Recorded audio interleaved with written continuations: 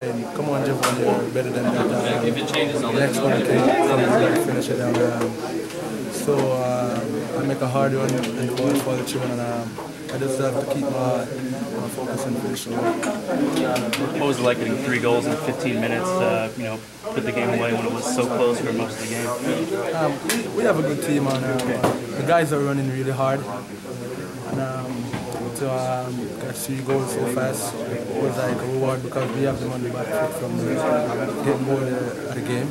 Um, I think the guys came out in the second half and decided we were going to for the. How good was that ball Mauro hit to you? And it was a perfect ball because um, I was running from the other end of the field. And uh, it's just me just making a hard run and getting through because I know I'm faster than the guy. It was a perfect ball.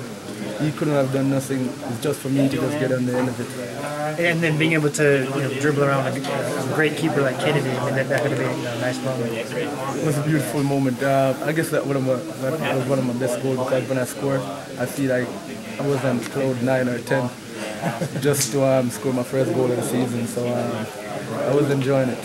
Great. Thanks, Jim. Okay. Thanks, Siobhan.